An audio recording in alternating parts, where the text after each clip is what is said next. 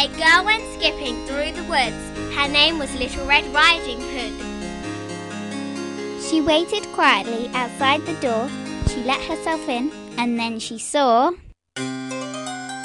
You're boring, Red, said Wolf. Now look, I want a character from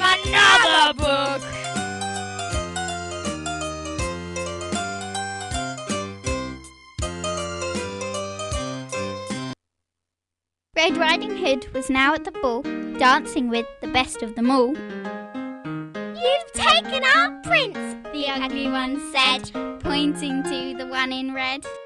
Fairy Godmother uttered the magic word, Wigglies, and turned the ugly ones into bad pigglies.